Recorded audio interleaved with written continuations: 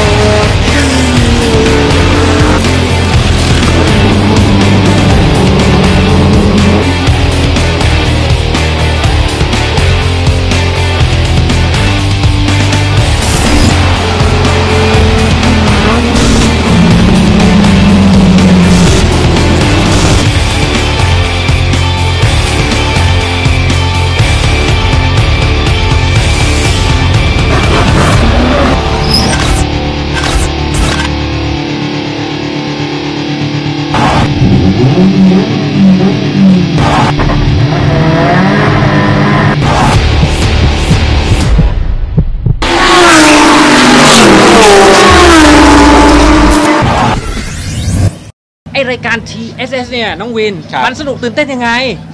อืมมันก็โหมีความเข้มข้นมันในตัวของมันเองนะ มันมีหลายรุ่นอะพี่วัว ใช่ไหมใช่ สนุกตื่นเต้นเร้าใจนะครับ มีทั้งเอ่อดราม่ามีทั้ง comedy นะครับถูกต้อง โอ้ครบทุกรสนะครับไปชมกันดีกว่าเรียกว่าต้องไปดูกันเองเนาะ อ่าไปดูกันเองนะครับ TSS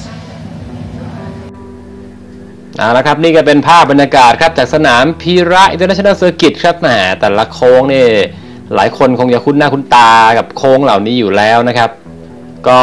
เป็นบรรยากาศครับ ก่อนการทำการคุริฟายครับ ในรุ่น Thailand Super Eco แหมเดี๋ยวนี้นะครับ รถยนต์ Eco Car ทั้งหลายนี่ก็มาทำการแข่งขันกันแบบเป็นจริงเป็นจังมากขึ้นครับ แล้วข้อสำคัญครับ นอกเหนือไปจากความประหยัดแล้วเนี่ยนะครับ ความเร็วต่อรอบครับ เดี๋ยวจะได้เห็นนะครับว่า โอ้โห สมัยนี้ครับ รถอีโคคาร์ ทำนิดนิดหน่อยหน่อยนะครับ พอลงไปวิ่งแล้วเวลาเร็วเหลือเกินครับ รถพันห้าหลาย ๆ คันมีหนาวเลยทีเดียวเอาละครับ เรามาดูผลการคุริฟายกันสักนิดนึงครับแหมอันดับหนึ่งนี่ทำเวลา 1 นาที 17 เลยทีเดียวครับ ภูมีพรมมาทำครับ อันดับที่ 2 ครับแหมนี่ก็เป็นสายเลือดนักแข่งเหมือนกันครับ ลูกชายคุณอาภธรกันสูตรครับกมิกกันสูตรนะครับ และอันดับที่ 3 ครับ วรุษกันวิสิตครับ 3 อันดับแรก แต่ว่าก่อนจะไปชมการแข่งขันครับ เราไปชมบทสัมภาษณ์ของนักแข่งหญิงหน้าใหม่ไฟแรงครับ เคยผ่านรายการแม็กซีวีบ่อยครั้ง รวมไปถึงเป็นลูกสาวของแม็กข่าวด้วยน้องนักจังครับไปฟังเลยครับ สวัสดีค่ะทันชนกเจริญสุขวัฒนานะจังค่ะ ก็อยู่ทีมไททัน VMS X ทองหล่อนะคะ แข่งในรุ่น Super Eco ค่ะ หมายเลข 39 ค่ะ ก็จากการซ้อมเมื่อวานนะคะ แล้วก็คอลิฟายเนี่ยผลออกมาก็เอ่อไม่ค่อยดีนะเพราะว่าเป็นครั้งแรกที่ได้ลงจับรถ แล้วก็ลงทำการแข่งขันค่ะ แล้วก็เอ่อรถก็ยังมีปัญหานิดหน่อย ยังไม่ได้ setting อะไรมาก ส่วนวันนี้ที่แข่งขันค่ะ ก็จะทำให้เต็มที่ที่สุด แล้วก็คิดว่าในสนามหน้าเนี่ยคงจะดีขึ้น เพราะว่าจะได้มีเวลาไปฝึกฝนซ้อม แล้วก็ทำความคุ้นเคยกับรถมากขึ้น แล้วก็ setting ให้พร้อมมากขึ้น ยังไงก็ฝากเชียร์นะจังด้วยนะคะ ทีมไททัน VNSX ทองหล่อค่ะ ครับ สวัสดีครับ ผมนพพลเชิดชูสัตย์นะครับ จากสังกัดทีมไททันวินเอสเอ็กทองหล่อ มาทำการแข่งขันในรุ่น Super Eco เบอร์ 86 ครับผม จากการ qualify ออกมาเมื่อวานเป็นอันที่น่าพอใจนะครับ แต่วันนี้สนามหนึ่งก็จะทำให้ดีที่สุดครับ ขอบคุณครับเอาละครับ เรามาดูตำแหน่ง grid start กันอีกสักครั้งหนึ่งนะครับ อันดับที่1ครับภูมิพรหมธรรมนะครับกับ 117 คันเดียวเลยครับที่ 2 นี่ก็ ว่ากันไปครับ118 19 20 ไปเรื่อยนะครับนี่ครับบรรยากาศครับเรสที่1ครับของ Thailand Super Eco แข่งกันทั้งหมด 10 รอบด้วยกันนะครับนี่ครับบรรดานักแข่ง ส่วนใหญ่ก็นี่แหละครับเป็นรถที่เราคุ้นเคยอยู่แล้วนะครับ Honda Brio Suzuki Swift นะครับ Toyota Yaris ครับอ่าไปครับเราไปกับหมายเลข 19 ครับ จากทีม B Quick นะครับคุณนัทพล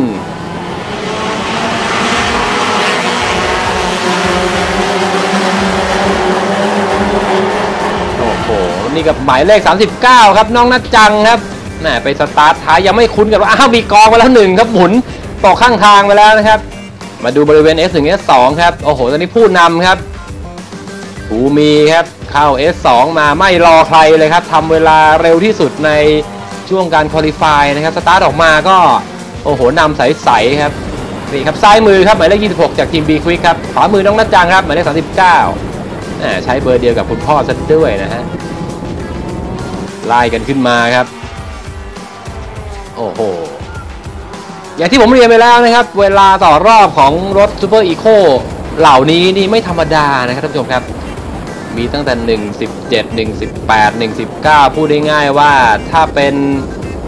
รถเครื่องยนต์ไม่ใหญ่ไปมากประมาณสักพวก One Make พันห้าทั้งหลายนี่ลงไปแข่งกับเขานี่เหนื่อยนะครับท่านผู้ชม อ้าว น้องนัดจังขึ้นไปแล้วครับ แซงขึ้นไปแล้วครับ โอ้โห ตอนนี้อยู่ในโค้งร้อยอานะครับ ตรงนี้นี่ก็เรียกได้ว่าโหนกันเต็มเหนียวแล้วครับ กดคันเร่งเต็มครับ ความเร็วไม่สูงมากนะครับสำหรับรถพวกนี้ อาศัยว่าเบรกน้อยๆ จะได้เร็วๆนะโอ้นี่ผ่านเส้นไปแล้วนะครับ ตอนนี้หัวแถวครับยังเป็นเหมือนเดิมครับ สลับกันไปสลับกันมาครับ อ้ามาดูหมายเลข26 กับ 39 อีกครั้งหนึงนะครับ 39 เราจะแซงขึ้นไปแล้วนะครับ ก็แหมปรากฏว่าข้างหน้านั้นอยู่ไกลเหลือเกินครับ จบการแข่งขันเป็นที่เรียบร้อยครับ ภูมิพรมาธรรมครับนำม้วนเดียวจบครับ ส่วนนัดจังของเราครับ โอ้โห ยอดเยี่ยมครับ สตาร์ทที่ 22 จบ 13แหมแววดีเหลือเกินครับ อย่างนี้ต้องให้แข่งต่อจนจบฤดูกาลแล้วก็ชนะสักที อ้าว มาดูตรงนี้ดีกว่าครับ อันดับหนึ่งของสามครับ ตามที่ขึ้นมาบนหน้าจอเลยนะครับ ข้างหน้ากับบรีโอล้วนๆครับ1 2 3 4 5เลยครับแหมาทำรถเตรียมรถมาดีเหลือเกินนะครับเอาละครับจากรุ่นนี้นะครับเราจะไปชมเรื่องราวการคอลี่ฟายครับหรือว่าการจับเวลารอบคัดเลือกนะครับ รุ่น Super Pickup อ้าการ qualify นะครับ race หนึ่ง race สองนะครับนี่หมายเลข17นี่คุ้นๆกันอยู่แล้วนะครับ คุณพีทนะครับธนพลทองเจือหนึ่งในนักแข่งทีม PTT นะครับ ระหว่างการ qualify นี่ก็มีทั้งไล่ทั้งหาลายเองนะครับ เพื่อให้เวลาของตัวเองนั้นเร็วที่สุดครับ ผลการ qualify ออกมาครับ โอ้โห คุณพีทของเราครับ อันดับที่ 1 เลยนะครับ 114 อยู่คนเดียว อันดับที่ 2 ครับวริศอ่อนระยับครับ แล้วอันดับที่ 3 ครับ เอกลักษณ์หน้าเกียรติครับ เดี๋ยวเราไปสัมภาษณ์นักแข่งกันสักนิดนึงครับ เขารู้สึกยังไงกันบ้างกับการคอลี่ฟายวันนี้อะชมเลยครับ สวัสดีครับ ผมชื่อวาลิศอรยับนะครับทีดีเลสซิ่งสุมบรีนิโตทีมนะครับ วันนี้มาขับรถ ยูสุดีแม็กออนิวนะครับ ผลการซ้อมและคอลี่ฟายของเมื่อวานเนี่ย ก็ถือว่าค่อนข้างน่าพอใจเป็นอย่างยิ่ง โดยรวมพร้อมพร้อมสำหรับแข่งแล้วเพราะว่าได้จูนมาใหม่เรียบร้อยแล้วครับ ก็น่าจะผลงานน่าจะดีกว่าที่คิดครับ สวัสดีครับ ผมชื่อเอกลักษณ์หน้าเกิดครับ สังกัดทีม DNA X แล้วก็ XCD ทำการแข่งขันรุ่นกระบะ Super Pickup ครับ ผลการซ้อมและ qualify ตอนนี้อยู่อันดับที่ 3 ครับ พอไหวครับ ก็ต้องลองสู้ดูสักตั้งหนึ่งครับ หลังจากฟังนักแข่งทั้งหลายแล้วนะครับ รู้ได้เลยว่าแต่ละคนนั้นมั่นใจใช่ย่อยนะครับ โอ้โห มาดูบริเวณ grid start ดีกว่า อืมสาวๆครับจากทีม PTT นี่ครับ แต่ละคันครับ สปอนเซอร์เพียบครับ เป็นรุ่นที่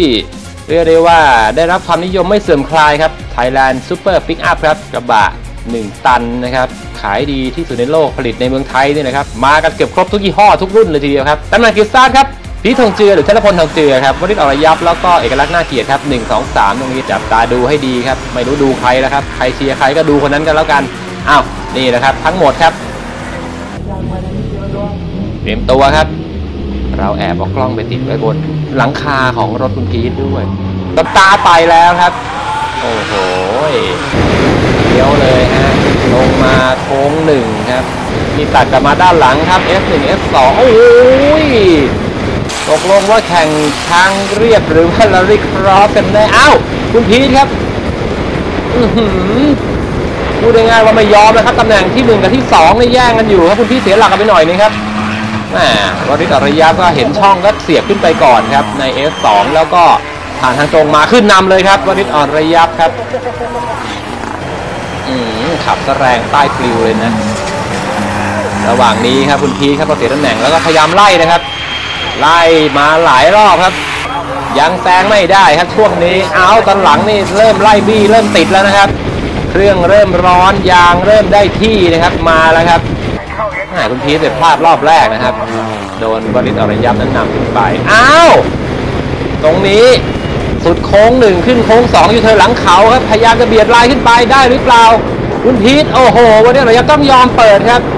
พีทนั้นได้ลายในเรียบร้อยแล้วนะครับ พอแซงขึ้นมาได้นี่ทิ้งเลยครับ ลงร้อยอาร์มาขึ้น F1 โอ้โหแม่ลีลาในการขับเนี่ยไม่แพ้ลีลาในการเล่นหนังเล่นละครเลยทีเดียวนะครับ คุณพีทคุณธนพลแล้วก็เรียบร้อยครับคุณธนพลหรือคุณพีทนะครับ รับตำแหน่งที่ 1 ไปนะครับ ในลำดับ overall นะครับธนพลพีททองเจือครับ รับที่ 1 ไปนะครับอันดับที่ 2 ครับอวิโรจน์นะครับสิรินวรชัย และคุณนิพนธ์ครับเป็นอันดับที่3นี่ครับแล้วก็มาเขาเรียกว่าแจกถ้วยในแต่ละรุ่นด้วยนะครับอ้าวมาดูการคุริฟายในรุ่น Super Production Race ที่ 3 และ 4 กันต่อเลยดีกว่าครับแหมรุ่นนี้ต้องบอกว่ามือเก๋าๆครับที่หลายๆคนครับคุ้นหน้าคุ้นตานั้นก็ลงกันเพียบครับไม่ว่าจะเป็นบอยขจรศักดิ์นะสงขลานะครับ หรือว่าน้องวินวินของเราครับลงกับเขาด้วยนะ มาดูผลการ qualify ครับภาคสริสมบัติครับหรือว่าในโยครับ อันดับที่1นะครับปีเลิศบริเกียรติที่2ครับตามมาด้วยคุณศักดิ์หน้าสงขลาและไมเคิลฟรีแมนที่ 4 ไปชมคุณโยครับ qualify อันดับ1ครับให้สัมภาษณ์กันนิดนึงครับ สวัสดีครับ ผมโยภาสลิตพรมสมบัตินะครับ จากทีมไอไมเรื่องทีมครับ วันนี้มาแข่งขันในรุ่น Super Production ครับ เบอร์ 69 ผล qualify เมื่อวานก็เป็นที่น่าพอใจครับ qualify เป็นอันดับหนึ่งยังไงก็ตามเชียร์กันด้วยครับ สวัสดีครับชาวแบ็กซีวีวินปวินปันบุญท่อมนะครับผมเบอร์ 54 รุ่น Super Production นะครับผมในสังกัดทีม PTT Performa RPM สิงห์ Racing Team ครับผม ช่วง qualify นะครับที่ผ่านมาเมื่อวานนี้ก็อยู่ในอันดับที่ 13 นะครับ overall ในเอ่อที่น่าจะเป็นที่ 2 หรือที่ 3 ในรุ่นนะครับ ก็เดี๋ยวต้องลองดูกันว่า ผลการแข่งขันวันนี้จะเป็นยังไง ก็ฝากติดตามชมแล้วก็ฝากเชียร์วินด้วยนะครับผมขอบคุณครับ เอาละครับหลังจากที่ฟังทั้งคุณโยแล้วก็วินวินของเราพูดคุยไปแล้วนะครับ มาดูบริเวณกริดสตาร์ดีกว่าอือหืออย่าเพิ่งไปไหนสิแหมช่างกล้องของเรานะครับหนีไปหนีมาตาลายครับนี่ครับคุณบอยขจรศักดิ์นาสงขลานักแข่งสังกัด PTT ครับ Ford Fiesta นี่คุณอัน ATP ครับใน Honda Jazz ข้างหน้าก็มีทั้ง Jazz ทั้ง Mazda 2 นะครับ ทั้ง Ford Fiesta นะครับบรรดารถที่เป็นรถยอดนิยมในประเทศอย่างนี้น้องวินวินครับแม่เราตัดภาพให้ชมตั้งแต่รอบ Formation Lap หรือ Warm Up กันเลยมาดู grid start อีกทีครับท่าสลิดพรหมสมบัติครับ และเบียร์เลอร์บุญเกียรติครับ อยู่ที่หัวแถวนะครับอาจารย์ศักดิ์สงขลาครับ กับไมเคิลฟรีแมนครับ ในแถวต่อไป รถแข่งทุกคันครับพร้อมบริเวณ grid start แล้วนะครับรอสัญญาณไฟครับเราไปกับอาจารย์ศักดิ์ณสงขาครับแต่สตาร์ทอยู่กลางกลางๆกลุ่มนะครับแต่ว่าสตาร์ทไม่เร็วครับขึ้นมาแล้วครับกำลังจะล้ำขึ้นไปหนึ่งคันครับขึ้นได้หรือเปล่าอาจรย์ศักดิ์อ้าวมีใครเฉื่อยอยู่คันหนึ่งตายแล้ว นี่ครับนี่เป็นกล้องท้ายรถของน้องวินครับและนี่กล้องจากรถของคุณบอยแซงขึ้นไปแล้วครับแซงคุณหนานในทีพีขึ้นไปแข่งกันเบรกครับตรงนี้ยูเทิร์นหลังขาวอ้าวยอมกันหรือเปล่า ข้างนอกมีมาอีกหนึ่งคันใครแล้วครับนั่นหมายเลขคุณอ้าวฮาสริสไม่ใช่หรือเกิดอะไรขึ้นครับ โอ้โห นี่ครับมาดูช่วงหลังเขาครับช่วง S1 ผ่านโค้งไอตีไปครับอื้อหือนั่นบินปลิวไปนู่นครับนำห่างๆเลยนะครับนี่น้องวินครับพยายามตามไล่เหมือนกันครับเสียจังหวะไปช่วงแรกครับวิ่งฝุ่นตลบครับ รถแข่งบ้านเราเนี่ยจริงๆน่าไปแข่งแรลลี่คอร์สนะฮะเป้าเสียงเร้าใจเหลือเกินคุณบอยขจรศักดิ์ครับ ไล่ล่าหาตำแหน่งอ้าว มีกองไปสองคันครับไม่รู้เกี่ยวกันเองหรือเปล่านะครับอ้าวกลับมาได้คันหนึ่งนี่ครับคุณบอยครับในช่วงท้ายๆแล้วนะครับ เริ่มไล่น้องแล้วอ้าวใครจอดครับ อยู่ดีๆก็ลงไปวิ่งอยู่บนหญ้าครับโอ้ย เต็งไปเลยอ้าวมาดูน้องวินกันหน่อยดีกว่าครับคราวนี้โอ้โหนี่จะๆเลยครับมีกระแทกกันบ้างเล็กน้อยนะครับตรงโค้งหนึ่งแล้วก็เข้าเส้นไปเป็นที่เรียบร้อยครับตำแหน่งที่ 1 เป็นของปีเลิศบุญเกียรติครับอันดับที่ 2 ครับไมเคิลฟรีแมนครับอันดับที่ 3 ครับภาสกรแย้มเกตหอม และบอยขจรศักดิ์นั้นจบที่ 4 ครับแม่โพเดียมครับของรุ่น Class C ครับ Production ครับน้องวินของเรารับที่ 1 ไปนะครับในรุ่นนี้ ในรุ่น Overall ครับรวมทั้งหมดนะครับ ช่วงต่อไปครับ หลังโฆษณานะครับ เราจะไปชมการแข่งขันนะครับ ไม่ว่าจะเป็นรุ่น Super 1,500 Super Eco แล้วก็ Super Production พักแป๊บหนึ่งจ้ะ